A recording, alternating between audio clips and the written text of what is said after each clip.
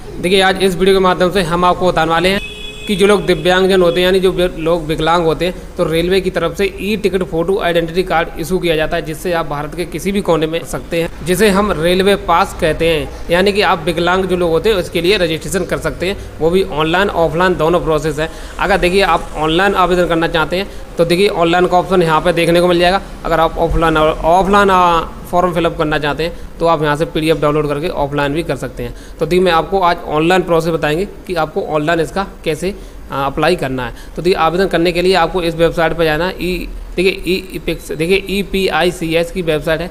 अब रेलवे की ये ऑफिशियल वेबसाइट है, जो यहाँ से ई टिकट जो फ़ोटो आइडेंटिटी कार्ड है, वो जनरेट करती है। जैसे यहाँ पर आ जाएँगे तो यहाँ पे एक ऑप्शन देखने को अप्लाई ऑनलाइन का। तो आपको इसी पे क्लिक कर देनी तो देखिए आपके सामने इस तरह का इंटरफेस आ जाएगा। अगर आपको ये इंस्ट्रक्शन सारे पढ़ने हैं तो तो पढ़ भी सकते हैं। नहीं तो आप डायरेक्ट इसे ऑनलाइन के लिए भी भेज सकते हैं। मैं तो कहूँगा अगर पढ़ना है तो आप यहाँ से पढ़ सकते हैं।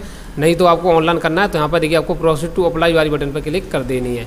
जैसे यहाँ पर क्लिक करेंगे तो देखिए आपके सामने यहाँ पर रजिस्ट्रेशन पेज ओपन हो चुका है। देखिए सबसे बड़ी बात है, ये फॉर्म है, वो तीन स्टेप में कंप्लीट होगा। फ़र्स्ट में देखिए, आपका रजिस्ट्रेशन कंप्लीट होगा। तो देखिए, सबसे पहले आपको यहाँ पे अपना आधार नंबर फिलअप कर देना और आधार कार्ड के हिसाब से आपको first name last name middle name जो भी है, वो आपको फिलअप कर देना। और यहाँ पे आपको फादर्स नेम या फिर हस्बैंड नेम जो भी फिलअप करना है वो आपको यहाँ पे फिल कर सकते हैं। उसके बाद देखिए, आपको यहाँ पर जो पासवर्ड बनाना चाहते हैं, वो आपको अपना पासवर्ड क्रिएट कर लेना।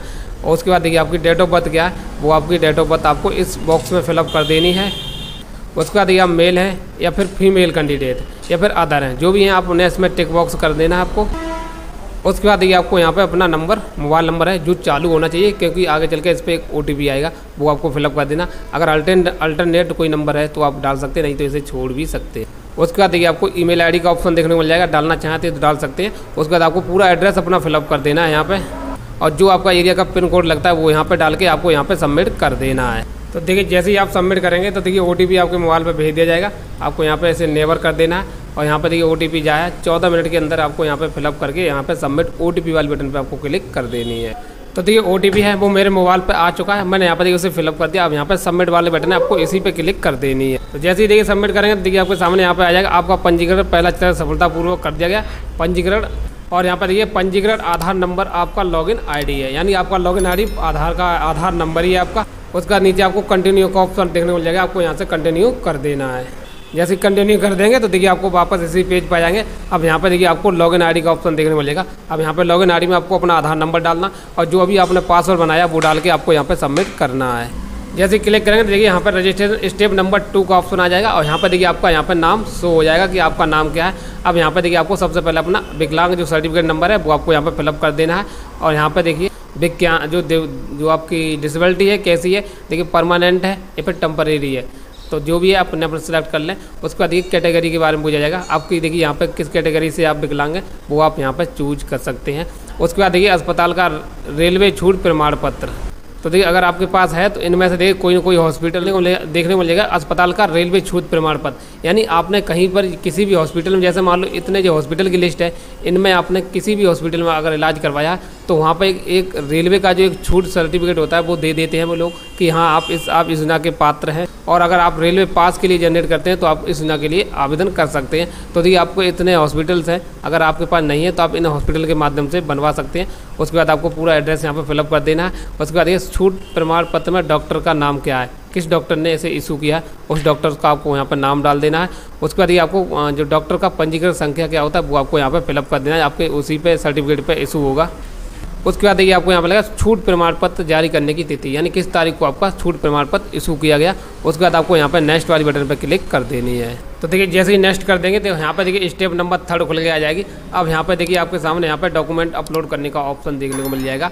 अब यहाँ पर डॉक्यूमेंट अपलोड करने के बाद देखिए आपको कैसे सबमिट करना देखिए यहाँ पर डॉक्यूमेंट रेलवे सियासत पर जो देखिए रेलवे का जो सी प्रमाण पत्र होता है, वो आपको यहाँ पे अपलोड करना है। अगर आपको दिक्कत आ रही है तो आप यहाँ पे देखिए मैंने इसका लिंक डिस्क्रिप्शन में लगा देंगे।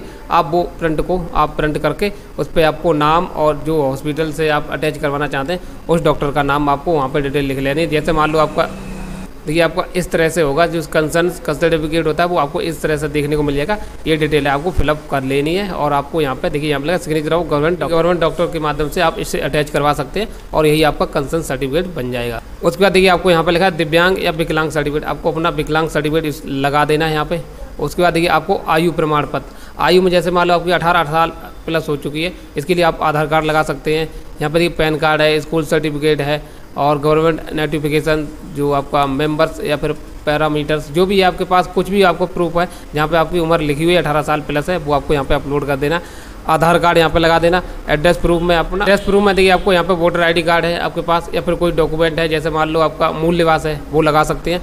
उसके बाद देखिए, आपको यहाँ लास्ट में ऑप्शन देखो टिकट आकार का, यानी आपको पासपोर्ट साइज़ का एक फ़ोटो यहाँ पे अपलोड करना, उसके बाद देखिए आपको यहाँ पे सबमिट कर देना है। जैसे सबमिट करेंगे तो देखिए आपके सामने ऐसा डैशबोर्ड आ जाएगा। उससे पहले आपसे रिक्वेस्ट कर रहा हूँ, अगर आपको जानकारी पसंद आई है तो वीडियो को लाइक कर दें और चैनल पहले और वीडियो वॉच कर रहे हैं सब्सक्राइब ज़रूर कर लें, क्योंकि यहाँ पे ऐसे ही कॉन्टेंट देखने को मिलते रहते तो देखिए आपके सामने यहाँ पे कॉन्ग्रेचुलेसन का मैसेज हो जाएगा। यहाँ पे लगा request for submitted online application for issue of e ticketing photo identity card was successfully completed यानी आपका यहाँ पे सबमिट हो चुका है। अगर आप देखिए तो देखिए, जैसे ही आपका सबमिट हो जाएगा, जैसे ही आपका डॉक्यूमेंट अप्रूव हो जाता है, वैसे ही आपका आईडी कार्ड इशू कर दिया जाएगा। अब सबसे बड़ी बात जाती है, देखिए, आपको आपको चेक कर लेना है कि हमारा इशू हुआ है, कितने दिनों में इशू हो जाएगा। या फिर हमारा स्टेटस कैसा सो रहा है तो देखिए यहाँ पे आपको एक स्टेटस का ऑप्शन देखने को मिल जाएगा। आपको यहाँ पे अपना आधार नंबर फिल कर देना और जैसे यहाँ पे चेक स्टेटस पर क्लिक करें। वैसे देखिए यहाँ पे ऑप्शन स्टेटस देखिए एप्लीकेशन इज़ रिसीव यानी आपका एप्लीकेशन यहाँ पर रिसीव कर लिया गया। जब आपका आईडी कार्ड इशू कर दिया जाएगा तो आप यहाँ पे अपना लॉगिन करके अपना आईडी जो e ticketing photo identity card होता है, उसे आप डाउनलोड कर सकते हैं। अगर आपको जानकारी पसंद आई है तो वीडियो लाइक कर दें चैनल प्ले और वीडियो वॉच कर दें। सब्सक्राइब ज़रूर कर लें, क्योंकि यहाँ पर ऐसे ही कॉन्टेंट देखने को मिलते रहते हैं। वीडियो देखने के धन्यवाद।